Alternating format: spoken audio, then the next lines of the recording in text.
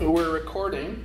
Um, you are in creating nimble Drupal systems, transforming a Drupal team in six months. And these are the other things you could be in. so if you're in the wrong place, one of you three. Um, give people that opportunity. I really wanted to go to this one, but unfortunately my talk is um, at the same time. Okay, so here's the agenda. A little bit of an introduction. hello. Kind of why are we here? What's the story about? What are nimble Drupal systems? I made up the definition. I'll tell you what I mean. I'll go through the six months of transformation that we went through with an actual client. Talk about what I think the secret sauce is.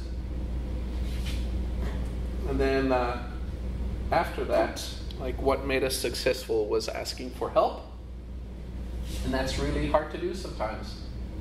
Most times. Especially if you're a, a government entity with lots of bureaucracy. Like, there's lots of reasons why it's hard to do.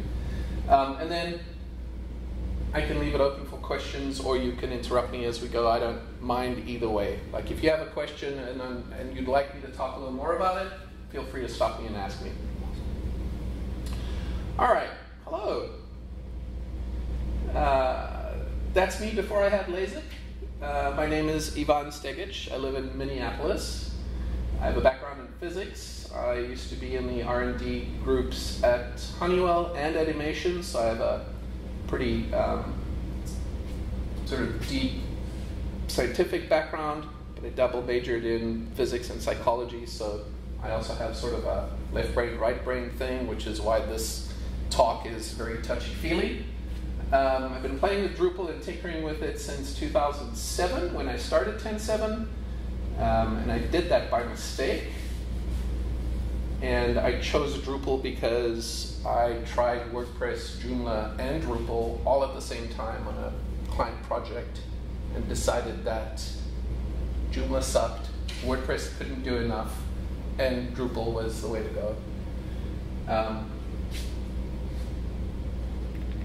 10.7?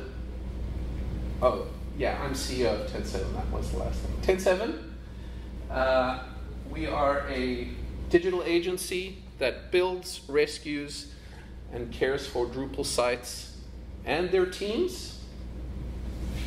We're based in Minneapolis. We have 12 staff across the United States. Um, and our mission is to make things that matter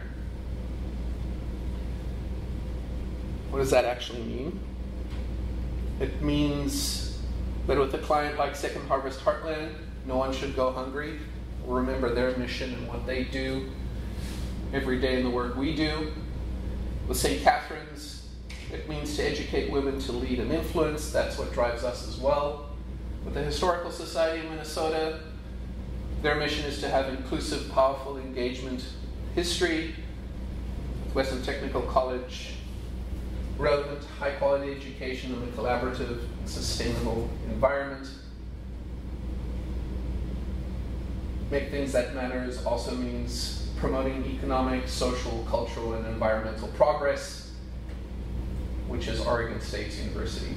You can kind of tell we work with universities and nonprofits, um, and also with government, as it turns out. So why are we here? What is this actually about? So, this is the story of how we helped a closely knit team inside a state government department transform their existing Drupal site and themselves. Or, if you look at the words here, we helped a team inside government transform their Drupal site and themselves. And essentially, we helped a Drupal team or a team transform. So, this isn't specific to Drupal, to government, or to non-profits. I fundamentally believe that this is true for any team. We just happen to do it with the Drupal team. The mission of the Department of Health at the state of Minnesota is to protect, maintain, and improve the health of all Minnesotans. And since we're headquartered in Minnesota, that's a mission that's very near and dear to my heart. I live in Minneapolis. Um, and this is about the work we did with the state of Minnesota's health department. So I'm going to take a step back and kind of define what I mean by transform. What does it mean to you? What did it mean to the Minnesota Department of Health? Did it mean them having a faster site? Maybe a site that's easier to navigate? Or maybe an easier update? Easier to update? Did it mean a transformation making it more secure or something that pays attention to accessibility? Did it mean a team that knows more about Drupal? Maybe a team that works faster and closer to each other? Maybe a site that works faster? Maybe a team that has empathy? Maybe transformation means all of these things.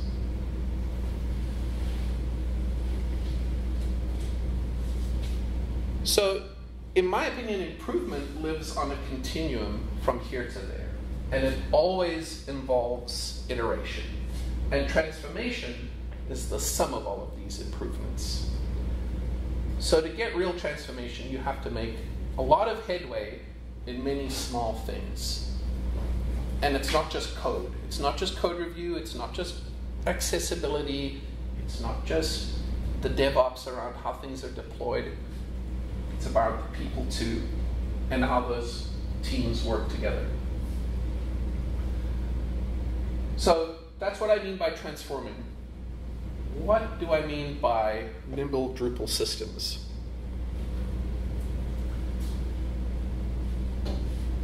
So let's define that. Nimble, here's the dictionary definition. Quick and light in action something that's fast but light. System, this is kind of a more standard definition, set of related things that are perceived as a whole. So, nimble Drupal systems are quick, light, Drupal related things that work together as a whole. So basically anything that interacts with your Drupal site including people, especially people. Because you're not going to have a successful Drupal site or a successful any site without a successful team. And now that we've defined nimble Drupal systems, let's take a peek at the six months of transformation. What's the secret sauce? So the genesis of this project with the state of Minnesota was that we were on a and still hold a contract with the state, which puts us on a list. And so when someone needs something, they can issue an RFP. They can say it's all 200, 200 500 contract holders, or it's a select 15, or they can reach out to a particular entity and ask them if they're interested.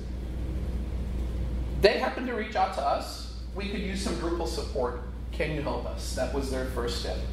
And we were like, holy cow, that's like the best thing to have happen, right? When someone actually wants the thing you are selling and believes you can help them. So the first step is asking. They had to ask us. And in my opinion, the second step should always be leading with empathy and thinking about why they asked us, what are their actual problems, how can we help them? And not assuming that they just want a transaction. And fundamentally, this is the secret sauce of any transformation. It's kind of easy to do. A lot of people don't do it. So, what did the first month look like? Well, we kicked off, we got started, and we hit the ground running wrong. It's not what happened. We have to have a contract and a statement of work. We have to get all the legal things out of the way. Sure, we're on this list, but there still needs to be a definition of what work we're going to do. It always takes longer than expected. So be mindful, have empathy, and plan for that additional time. They want to get going, we want to get going. if you expect that you're going to, if you expect that you're not going to get going right away, the frustration levels are going to be much lower. In addition to that contract and statement of work, we have to get access to all the things that they have, right? Accounts, credentials, multi-factor, VPN. I don't know how many times we all had to talk to IT at the state of Minnesota just to get VPN accounts working. It's a lot. And it's important to channel that empathy. Finally, after about a month, everyone was ready to get going. So it turns out that this was their team's first Drupal site. Yay! Uh, it also turns out they didn't have any experience with Drupal, and that they were doing this during COVID. And you can imagine, for the Department of Health, that's kind of a big deal. They migrated to Drupal from Lucee, which I'd never heard of, but it was something that they migrated to from Cold Fusion before that. And so you can imagine what that was like. All of the content that was in the original Cold Fusion site went into the Lucee site, they brought over into the Drupal site without having any real experience with Drupal into one content type. and they did this and launched in 2022, and it took them about two years to accomplish, maybe three. So we spent the first um, month getting everything in order, starting to realize like what the site was about, having the empathy that okay, here's where all of this came from, and here's all the baggage that you would expect. And the second month we spent listening, learning,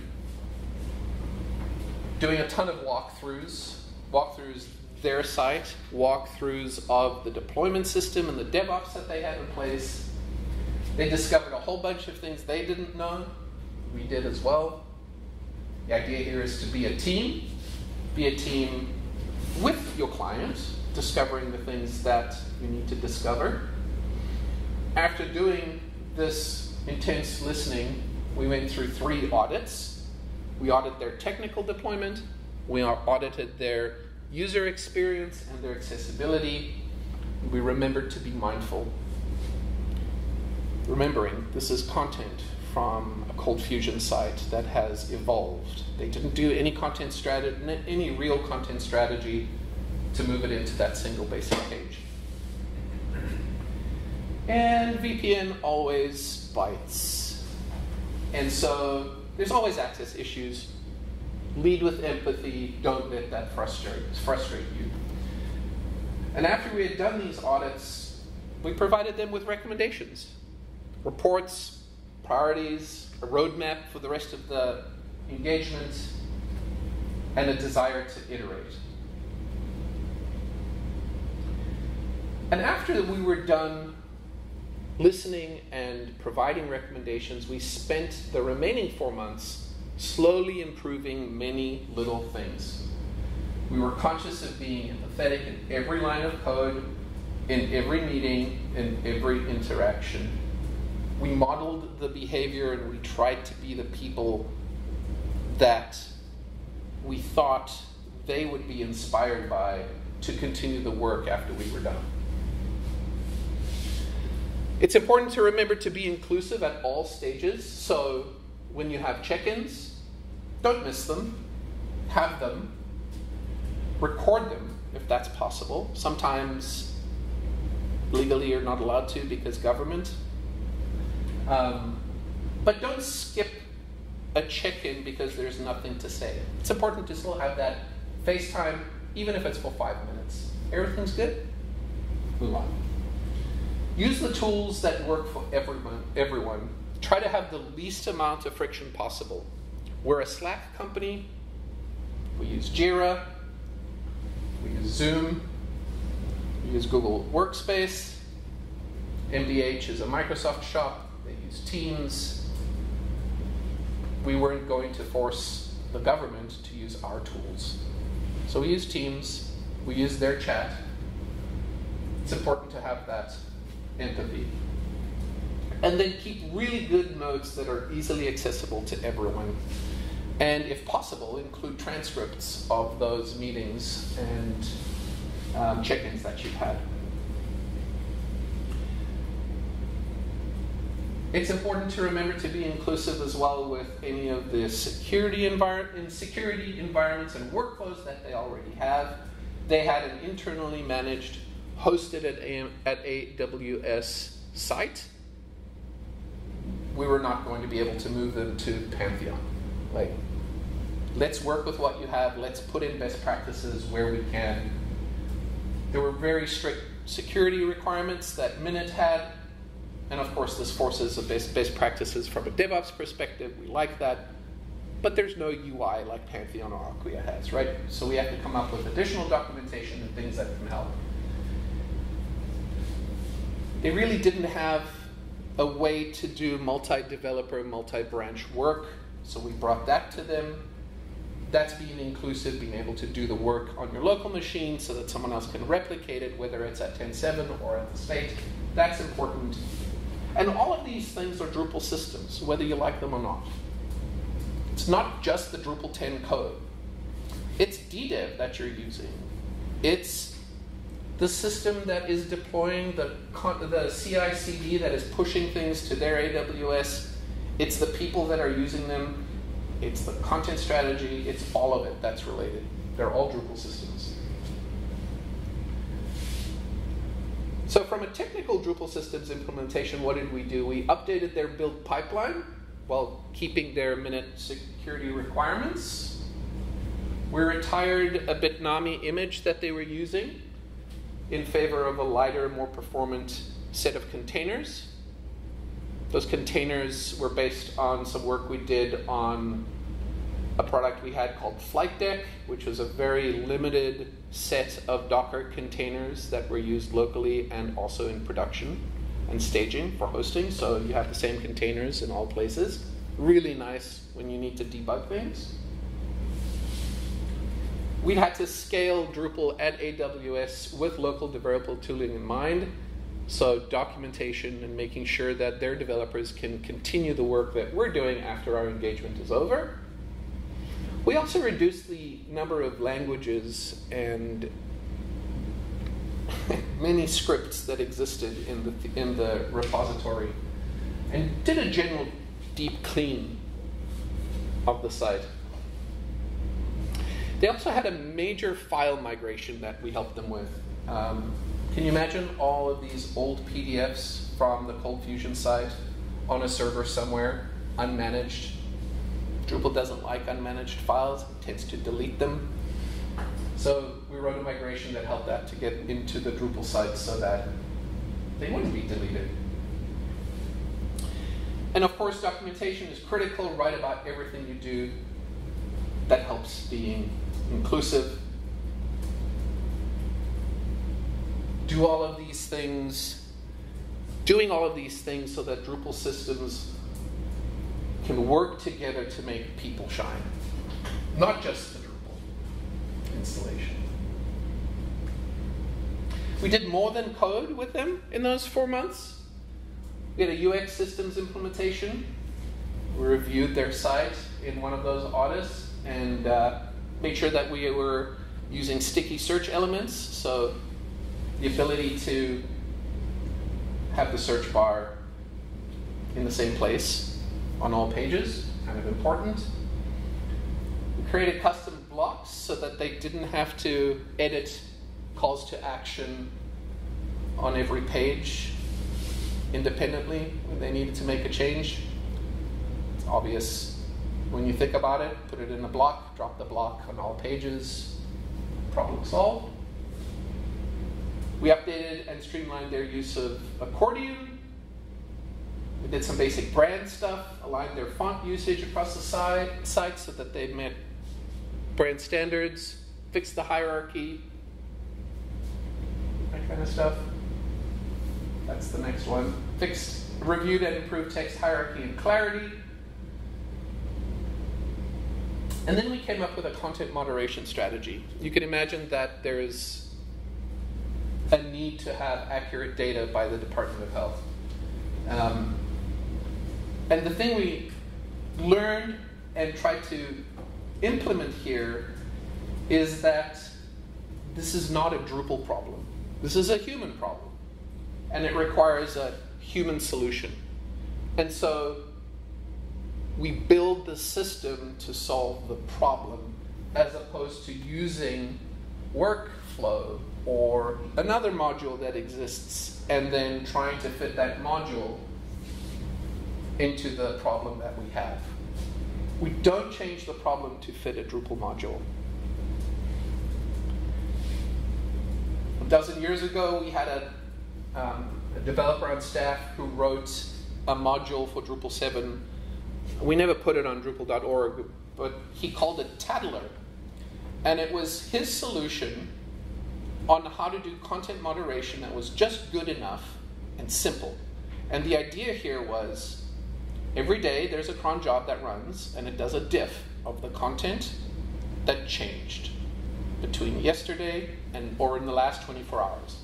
And if there's a change, an email goes out to an admin or a group of admins with the links to the nodes that changed and a diff of what changed. And the admin can then say, oh, we weren't supposed to do that. Revert to the previous node. Or they'd look at it and say, oh, yeah, that's all fine. That's a much simpler administrative solution to a problem where you have a smaller team of moderators and you can you can deal with errors or publication publishing something that might not be critical that it was there for half a day. Instead of implementing a giant workflow with different states that no one ever uses worse no one ever understands.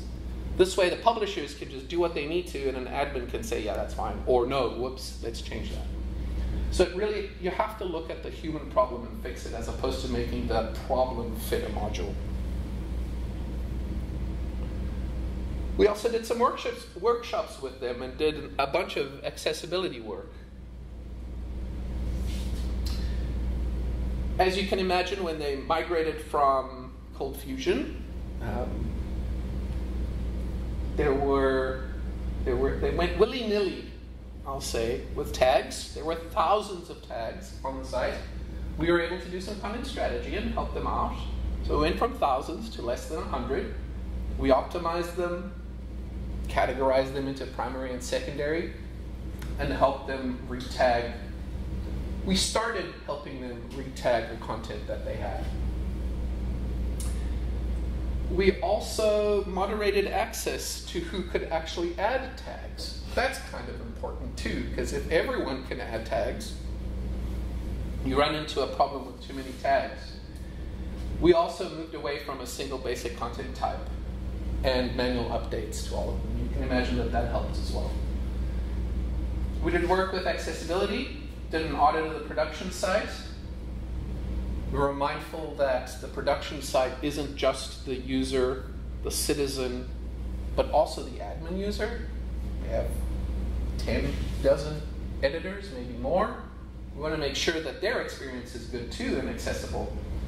We categorized each of the accessibility issues with critical and non-critical and tried to address the critical ones as soon as we could. And then we tweaked some of the Drupal settings in the in the admin interface so that there were things like alt tags that were required. You know, very basic things like that. These incremental changes across the board led to a transformation of the site. Doesn't mean we're done. Remember that those incremental changes are on a continuum. We keep getting better. And of course, we also fine tuned their image size um, and JPEG optimization settings, made sure that image cache and all those um, settings were set correctly. And in some cases, it prevented 20 megabyte JPEGs from being uploaded. So transformation was a multifaceted approach to improving as many systems as possible, both people and Drupal. And we think we were really successful in doing that. Asking for help, though, is often hard to do. I think it's easier if the circumstances are different. You're in a for profit where you have a budget and you can just go hire a consultant, much easier. But sometimes it's hard because maybe it doesn't even occur to you that you could ask for help. Community. The more eyes we have on things, the better it becomes. So try to remember that it's okay to ask for help. There are others that have experienced this before. Sometimes it's hard to ask for help because you're a lone developer and you might be embarrassed to show your code. Here's an opportunity for us as an industry to lead with empathy and to remind people we've all been there before. We were junior once. We all have imposter syndrome. It is pervasive amongst everyone in all levels. Another reason why it's hard to ask for help is can I even afford it? And often the answer is probably. Even if it's just a short audit engagement, don't need to reinvent the wheel, which is also something that prevents you from asking for help because you might think it's so bad we just need a new site. And you probably don't. There's likely lots to do without having to start from scratch. And then another reason why it's hard to ask for help is bureaucracy RFPs, competitive bids, legal requirements. There's always a way to figure that out. Whether it's a list of vendors or a contract vehicle like Carahsoft, um, reach out, just ask. And that's the whole talk. Thank you. Um, I'm thankful to all the volunteers that help in putting these camps together the Drupal community at large, without which none of this would be possible. And uh, that's .com if you need to reach Although I wonder if the .co would work. I don't think it would. Thanks for your time. Thank you. Right. Any comments or questions? Maybe? I'm curious. How your team, you able to trickle this down to team members and those, like, I, I can definitely see handing a project like this to people that in my company who will say, like, oh, I just want to rebuild this. Like, and I get it, but I, I, you know, you've sold me. I'm on board. How do how do you get others on board? Um, so, comes from the top. Yeah. Um, and the thing that I've tried to keep in mind is that it's like a leaky bucket. I have to keep talking about the company's mission and our values all the time because if I don't, that bucket's going to be empty at some point. And I have to continually remind people why we do things. And if there, if there are negative feelings or alternative feelings, like I really wish we could rebuild this site, to remind them what our purpose is and to remind them what the company's budget or the client's budget is and what we're um, scheduled to do. I think there's a good, healthy amount of venting also that's allowed Yeah. internally in a safe environment where, like, yeah, you get to say how crap the code is. That's cool. Like, say it. We know you're frustrated, but let's move on and have the empathy and the, the fortitude to embrace that and say, we can make it better. Like, we can't make it a whole lot better right now because we have this, I don't know, Drupal 7 code that maybe they don't have the budget to migrate to Drupal 10 site. Right. And let's do what we can with that. It's the leaky bucket thing, honestly. Okay, yeah, and you have to keep filling. You have to keep filling it. And that goes for not just projects, but like the company as a whole. Yeah.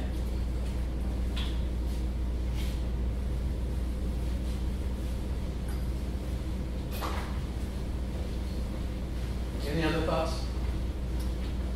Are you still, are you still engaged with this client on an ongoing basis? Or is this? No, this was like a we're six-month not. So it's a six-month engagement. Um, we had hoped to continue working with them. Unfortunately, um, fortunately or unfortunately, uh, the state of Minnesota legalized marijuana, and so then the state department, the Department of Health, had to change their focus all of a sudden to enable websites and um, like actually facilitating that.